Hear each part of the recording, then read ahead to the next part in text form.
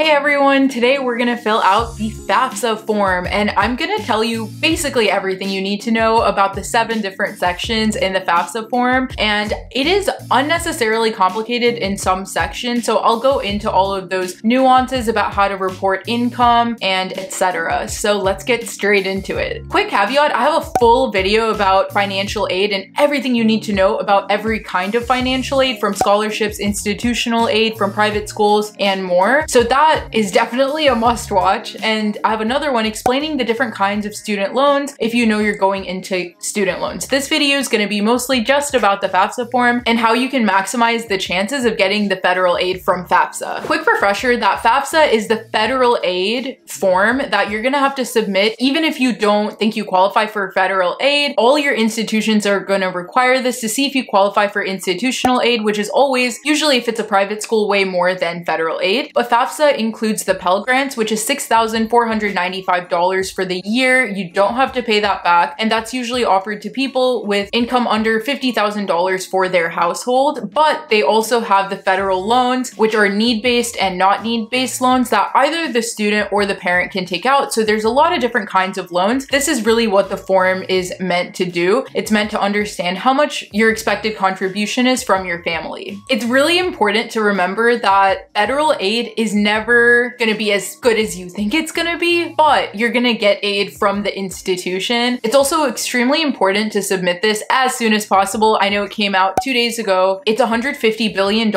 for everyone applying, which sounds like a lot, but it is first come, first serve for a lot of that aid. So you're gonna have to submit it as soon as possible. It shouldn't take you more than an hour. So let's get into all the materials you need about income statements and things like that that you're gonna need before you start filling out the form because filling the form out isn't that long of a process, but getting all of your bank statements, your parents' statements together takes the longest. The first thing you're gonna need is your social security number. And if you're not a US citizen, you're gonna have an alien registration number. You're also gonna need all of your parents' income statements, which are W-2 forms that their employers give them, or if they're self-employed, they're gonna have forms for their income statements. So you're gonna have to ask them for that, or they can log in and fill it out themselves. So you might only have to fill out like your part of the application, which is the student application, but there is a section for parents that they can just log in and fill out themselves. So they would need to get their income statements together, tax returns, as well as any reportable income account. And reportable income is gonna include brokerage accounts and any places they're making money that isn't related to their 401k, not their pension and none of that because there are some accounts that are reportable and some that are not reportable. The biggest issue and the biggest mistake people make when it comes to FAFSA is reporting too much income because the more you report, the more money you're reporting for your household, the more you have, the less you're gonna get in financial aid, whether it's federal or from your institution. Most retirement accounts aren't actually required to be reported, so those are non-reportable assets. So understanding what needs to be reported and what doesn't when it comes to income, additional income, all of the forms from your brokerage accounts, that's important to figure out. So all of the W-2s, tax returns, and understanding which accounts need to be reported is finished. The FAFSA isn't gonna take you too long to complete. So that's really, really important to get together before you start going through the form. So if your parents are your legal guardians, you're gonna be reported as a dependent. So all the income you have, your spouse, if that's applicable, as well as all of their income goes into the estimation for how much you're gonna have to pay. So the more people you have who are going to be reporting income, the more your expected contribution might be. And if you are filing as an independent, if you're emancipated from your parents or something of that sort, then the only income you're gonna have to report is your own. So that includes all of your income statements, brokerage accounts. I think most people do end up filing as dependent, so your parents are gonna have to come in and fill out all of that information. And the last thing you're gonna need for FAFSA is a FAFSA ID. So you're gonna have to probably do that now if you haven't already, get your ID, and that's how you're gonna log into your FAFSA. So just go to the website and create an account with your school email. And once you have all of that information, I know it's a lot, talk to your parents about the income statement, see if they can figure all of that out, log in on your behalf. And you would have to get all of your income statements together as well if you had summer jobs, internships. Something that's really important to remember as well when you're reporting income, if you only have one parent or if your parents are divorced, you only have to put one parent's income. Don't over report your income because the more money they think you have, the less you're gonna gonna get an aid. And I'm not a financial advisor or anything, but I'm just saying you want to make sure you minimize all of your reportable income assets if you're trying to get the most amount of aid possible. So yeah, look into all of that very, very carefully. Let's go straight into the first section in FAFSA. The first section in FAFSA is gonna be the student information. This is where you add in all of your personal information, home, phone number, address, driver's license if that's applicable. And then they just ask you more information about your parents' education and any prior convictions if there have been any. So it's a pretty standard section where I think you would have all the information if you just had your wallet with you. Something important to note, if you've taken any community college classes while in high school, questions 26 to 28 ask you about your education level. So even if you have taken community college classes while in high school, your highest like level of education is still gonna be high school. So don't over report your education status. Question 31 asks you about work study. So let's get into what work study is really quickly. So when you go to college, there are some jobs like campus jobs that are actually reserved for students who qualify for work study. You're gonna get paid and that pay, it's almost like reserved for you. Like those kinds of jobs are reserved for people who wanna do work study so that you're guaranteed, not always guaranteed, but it's easier for you to get a job to make income to supplement paying your tuition if that's required. You don't have to use the money to pay tuition. Like it's literally just a job, but they call it a work study job and it's pretty easy to get on campus, like working on campus somewhere. So yeah, I wouldn't see why you would click no unless you know for sure you're not gonna have any time, but it doesn't require you to do anything. It's a pretty basic question. So I mean, just say yes. The next section is student financial information. So this is really where you have to report all of your income. So over the years, if you've been working any summer jobs, you, you are gonna get an income statement. So if you don't really know anything about this, but have work jobs, ask your parents. They should have all of your income statements if you've been working, or you can ask your employer. But this is really where you put in all of your tax information for all of your reported income, whatever you've made. If you've actually worked for a company, but you weren't on payroll, like you weren't getting paid, you know, every two weeks, they weren't taking taxes, etc., and you just kind of like did a job where you babysitted someone and they gave you 15 bucks, like you don't have to really report that. Not financial advice at all, not an advisor. This is where if you do have a spouse, you're gonna have to report all of your spousal income as well because you're a joint household. They also ask you in question 35 for a schedule one form if that's applicable. And that form is really just any additional income you've made other than your main job. So if you have brokerage accounts, etc., you might have to report that. So look into that as well. The next section is gonna be your student status. And this is really important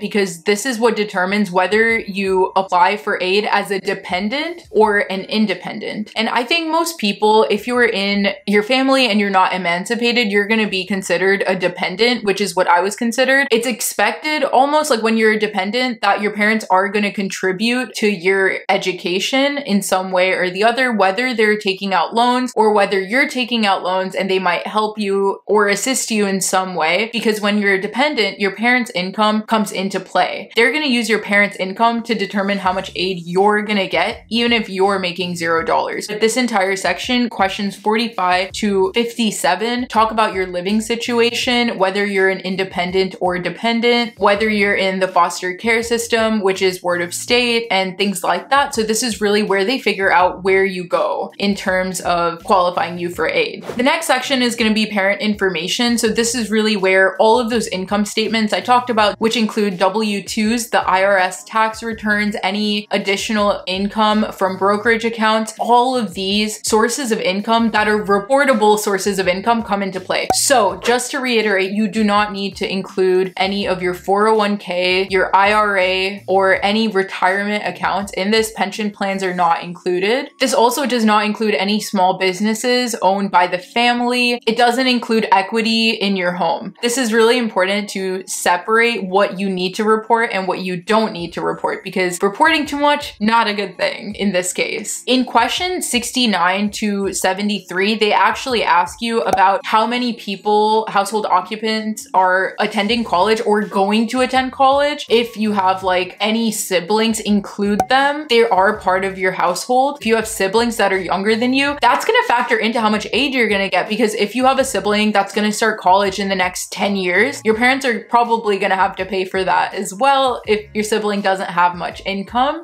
So the next section is student household information. This is really where they ask you the questions like, is anyone gonna go to college from that household in the future and things like that. So it's really, really important to make sure that everything is accurate there. Question 94 is how many people in you and your spouse's household will be college students in the next year? You count yourself as a college student, so you'd have to, you know, at least put one because you would be the college student. But all the parent household information is something they're gonna submit in the previous step. So don't worry about that and you would just put one if you are alone. If you have a spouse and you're both gonna attend college, that would be two. It's very straightforward, I promise you, in the online portal, everything makes sense and it's all chronological. So there's gonna be all of these sections and there are like sections where you can just skip or have your parents log in and fill that in for you. The last thing you're gonna have to do is add in all the schools you wanna send FAFSA information for. This is so, so, so important. Please make sure you have a list of every school code you're applying to because if you don't send this form to some school, you might not qualify for the institutional aid for your freshman year, which is a lot of money. It could be so much money because FAFSA is what's used by the institution alongside their tax calculators to determine how much money you're gonna get. I'm linking the list of school codes down below. Next section is just gonna be questions 102 to 106 where you just say that, you know, everything you've written thus far is accurate. You sign and you, you send it.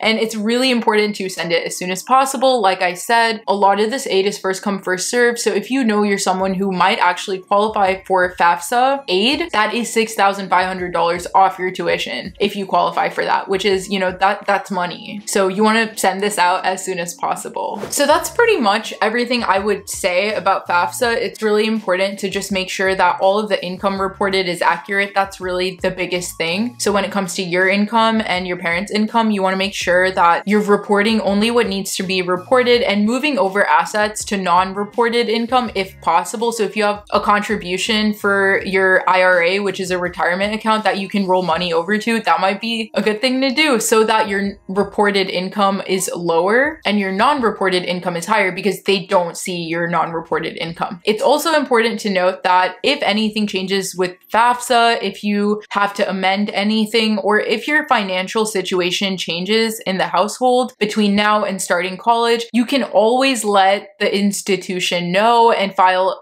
like different amendments to get more aid. So this isn't the end all be all. This is just something that you're going to start building your foundation on. And if you do have any additional information to give the school, you can do that by just emailing their financial aid office. But yes, this is pretty much everything you need to know about FAFSA. Thank you so much for watching. If you made it this far, don't forget to smash that like button and subscribe to the channel down below. I post videos about everything you need to know about college and hopefully beyond. So thank you so much and I will see you at the next good luck. Any questions you have, comment them down below. I'm happy to answer them. Thanks.